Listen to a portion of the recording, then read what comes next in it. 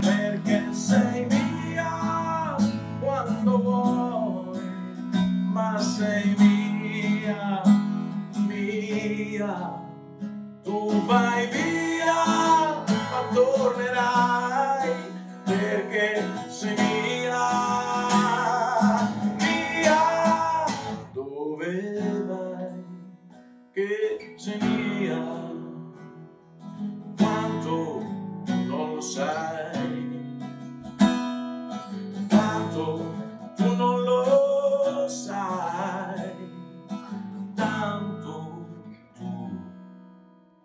non lo sai.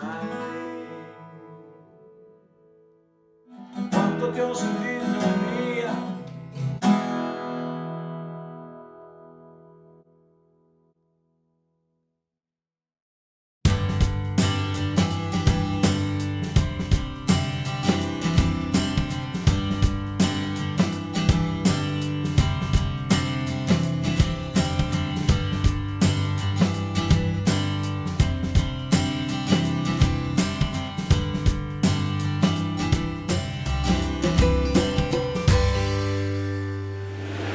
Benvenuti ad un'altra puntata di Il palco è tuo. Questa vetrina vuole essere una vetrina, questo programma per mettere in mostra dei personaggi, dei cantanti, degli autori, dei cantautori che amano la musica, che in qualche modo hanno inciso una canzone, hanno fatto un video perché poi a fine puntata i nostri ospiti presenteranno le loro opere attraverso un video. Oggi è il turno di Roberta Scimè. Ciao, Ciao. Roberta. Ciao, ciao. Una cantautrice a tutto tondo, 31 anni, nata in Sicilia, si vedono i tuoi colori, eh, però che ha vissuto da sempre in Brianza, diciamo, vicino a Lecco. Eh, ho letto la tua biografia e addirittura ho capito che tu non, non sei figlia del karaoke, delle cover, ma già a dieci anni sentivi l'esigenza di scrivere le tue canzoni. Ecco, la mia curiosità, cosa, cosa scrive una, una ragazza come te a dieci anni? Cosa, cosa hai scritto? Le, le prime canzoni di cosa parlavano? La primissima canzone parlava dell'importanza di ascoltarsi a vicenda, si chiamava proprio così, Ascolta, e ovviamente è stata scritta in italiano. Quindi addirittura subito eh, ascolta a chi lo dicevi, ai tuoi genitori, ai tuoi compagni. Sì, sia ai compagni sia alla famiglia. Quindi tu hai sentito già a quell'età di ehm, cercare un pubblico che ti ascoltasse, quindi di esprimere attraverso la musica. Beh, direi che è una cosa veramente insolita, in quanto, e non c'è niente di male, quasi tutti partono magari cantando le canzoni di altri. Ecco, eh, tu componi le tue canzoni con la chitarra, eh, che hai iniziato a studiare a 14 anni. E come nascono? Nasce prima la musica, poi il testo, co- com'è la procedura creativa? Sì, per prima cosa eh, compongo la musica, quindi uso una serie di accordi e se sento che la melodia mi piace poi scrivo il testo, quindi le due cose sono estremamente legate. Quindi è la musica che ispira le parole e non il contrario. Esatto. Eh, È come se la musica avesse già dentro un qualcosa che dice e tu devi tradurre questo, questo concetto. Perfettamente. Mm, Sono riuscito forse a spiegarlo bene perché è anche la mio- il mio metodo di lavoro, cioè è la musica che mi ispira, eh, le parole che poi dovrò dire, non il contrario. Molto bene, ecco, dal 2017 hai una tua associazione culturale, organizzi manifestazioni musicali, di cosa si tratta? Sì, noi abbiamo organizzato sia visite a ville, chiese, zone culturali del- della Brianza, ma anche la festa della musica con il Ministero dei Beni Culturali, è stato nel 2018. Abbiamo utilizzato un bellissimo cortile privato e invitato cantautori, eh, una soprano lirica, due strumentisti a suonare, quindi è stata una bellissima occasione. Beh, complimenti, abbiamo davanti una persona che non è egoista. Di solito, insomma, chi fa musica, gli artisti in generale, sono tutti un po' chiusi in se stessi, pensano solo alla loro carriera, a, a loro, no? a mettersi in mostra. Invece lei, oltre a scrivere le sue canzoni, naturalmente avere l'ambizione di essere ascoltata, però crea anche opportunità agli altri. È una cosa bellissima che ti fa onore. Eh, tra l'altro hai fatto parecchi concorsi e hai anche ottenuto parecchi riconoscimenti, ma dato che sono tanti non possiamo dirli tutti, però mi ha colpito che anche il grande Mogol eh, si è accorto di te. E in che modo? Ho partecipato l'anno scorso al premio CET, Scuola Autori di Mogol, e mm, una canzone del mio EP di cui vi parlerò dopo, Fiume in piena, ha preso una menzione speciale principalmente per il testo e il tema trattato. Beh, complimenti perché eh, naturalmente Mogol è il più grande autore vivente di testi italiano che saluto. Tra l'altro, tra l'altro saluto anche tutto il chat perché ho insegnato parecchi anni anch'io, specie negli anni di inizio, dal 97 al 99. Ho tanti bellissimi ricordi al chat ed è una scuola titolatissima e prendere un premio per i testi proprio al chat è una cosa bellissima che- di cui devi essere veramente fiera. Ecco, invece c'è un'altra cosa che fai anche per gli altri, un gruppo in Facebook che si chiama Gruppo Musica Inedita. Quindi, L'idea non è stata mia però, ma di un altro cantautore che salutiamo, si chiama Riccardo Gommiero, abita anche lui in provincia di Como e è quella proprio di promuovere brani inediti di artisti, ognuno ha una giornata dedicata, quindi al mattino viene presentato un brano, al pomeriggio un altro e l'idea è proprio quella della condivisione.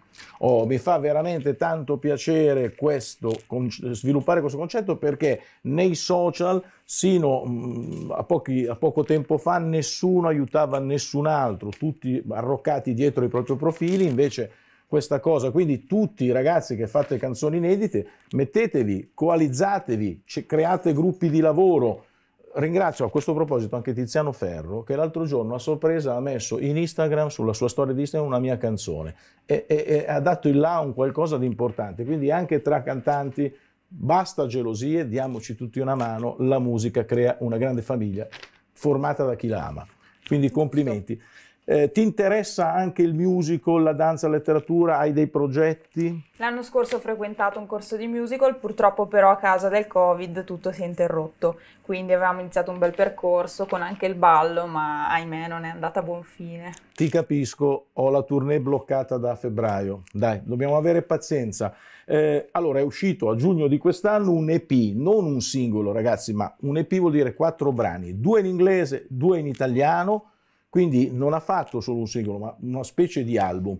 Continuerai a fare le canzoni sia in italiano che in inglese? Per quale motivo? Penso proprio di sì, preferisco la scrittura in inglese perché ho sempre ascoltato musica anglosassone e quella italiana solo successivamente, devo dire la verità. Però preferisco continuare sui due filoni perché il country in inglese mi piace molto e all'estero va, c'è da dire, quindi sono contenta.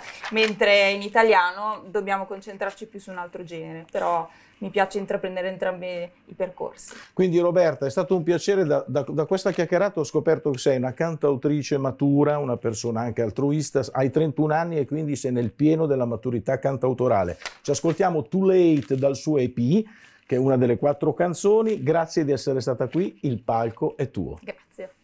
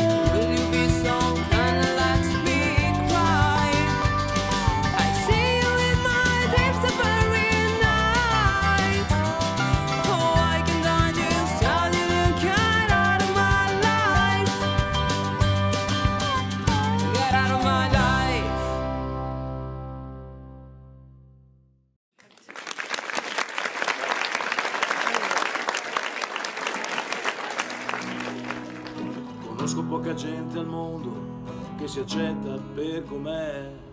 La maggior parte si nasconde, si mette delle maschere. Marino con la mente in corsa, il sogno che fa.